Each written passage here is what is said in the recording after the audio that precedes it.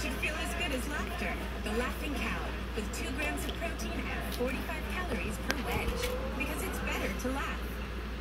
Geico can help when you get a flat tire with their easy app and 24-7 help. To the right now. To the left. To the left. Is the GPS playing the cha-cha? Now, it's time to get funky. Monkey's got a direction. To the right now. To the left. Everybody clap your hands. Whatever you need, from coverage to service, get more with Geico. Next, we have a float from our married couple, Maria and Philip. It's Little Bo Peep and her counting sheep. About your build. This is bedtime story. I love to read to our kids, so we have this on here. She has decided to read Little Bo Peep. We've got Bo Peep sitting in her little control tower. She's making sure that these sheep make it all the way across the bedroom, hoping to give them a safe landing.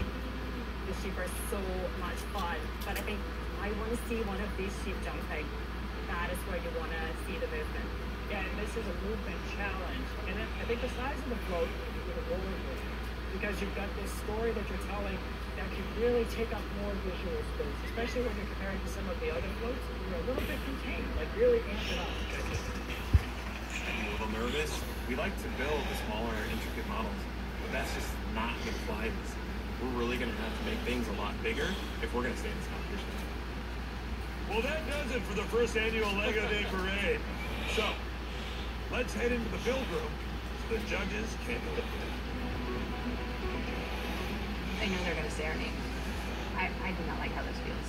I want to show the world what we can do. I am very scared that we may be going home. Our build had emotion, but not enough emotion. I don't be the first in front of. Your big parade was a huge success, and now it's time for the moment of truth. Brickmasters, all 12 of our teams killed it, but we need to know who finished at the top and who brought up the rear.